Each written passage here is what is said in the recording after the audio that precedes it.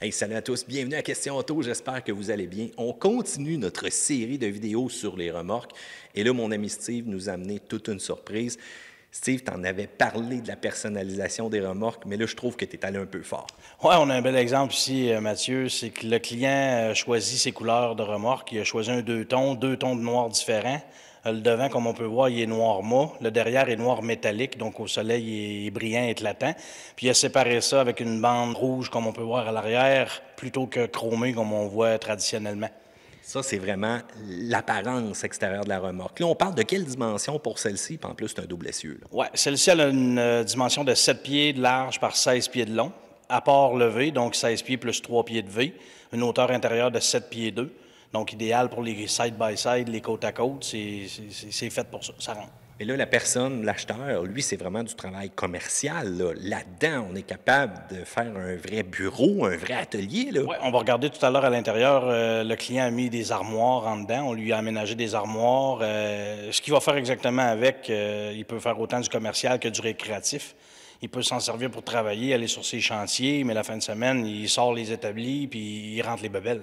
Je vois le genre. Parle-moi un petit peu aussi, j'aime ça revenir sur le choix du simple et double essieu. Avec une remorque de cette dimension-là, je pense qu'un simple, là, ça n'aurait pas vraiment été bien. On est vraiment un double avec celle-là. Et, bien entendu, les freins. Oui, absolument. Écoute, euh, Mathieu, c'est simple, c'est que dans le double essieu, automatiquement, ça vient avec des freins. Simple essieu, en haut de 12 pieds, je recommande pas. Donc, 6-12, c'est pas mal ma limite dans le simple essieu.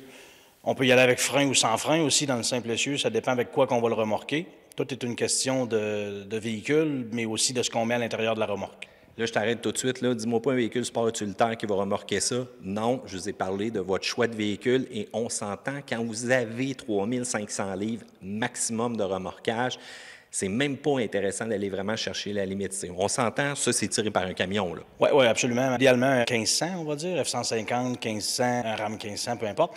Cette remorque-là, juste pour préciser, ça pèse 2200 livres, tel quel. Fait que c'est pas si lourd non plus, mais c'est surtout très bien balancé. Donc ça, ça fait une grande différence. Étant bien balancé, on la sent pas, même c'est unanime.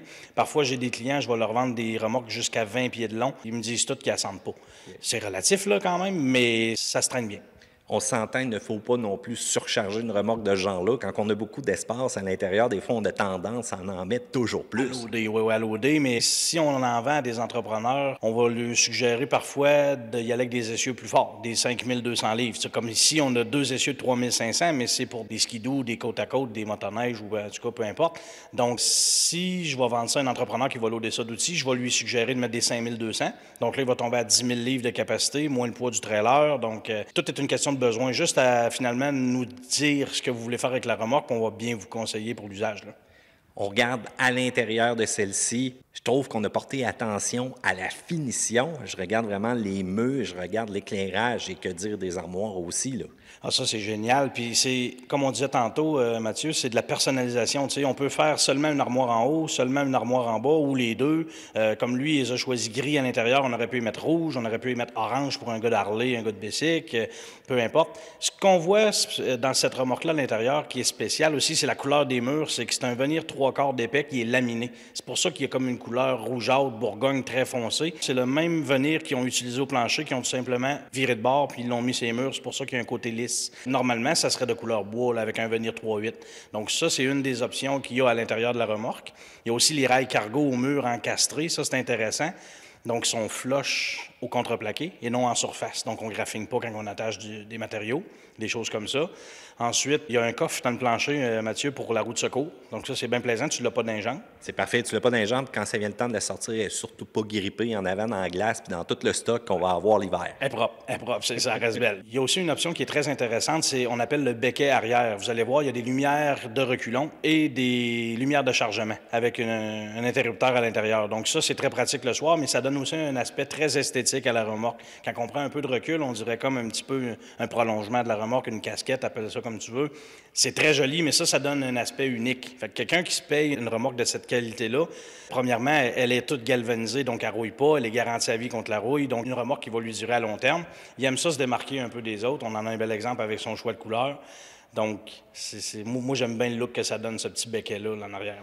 C'est pas rien qu'un look. Moi, je trouve ça utile. Avant de rentrer les machines, c'est le temps de les nettoyer. Des fois, on a souvent même le compresseur qui est à l'intérieur avec un petit réservoir d'eau. On nettoie ça à l'extérieur. On voit qu'est-ce qu'on fait, même si on est rentré tard.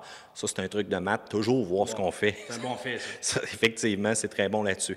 En terminant, Steve, j'aimerais ça que tu nous rappelles l'avantage, l'idéal, l'avantage des remorques, c'est de la qualité. C'est la qualité, c'est la durabilité, c'est la valeur de revente aussi, Mathieu, qui est importante. Dans le cas d'une remorque comme celle-ci, je vous garantis que dans 10 ans, elle vaut encore le prix que vous avez payé.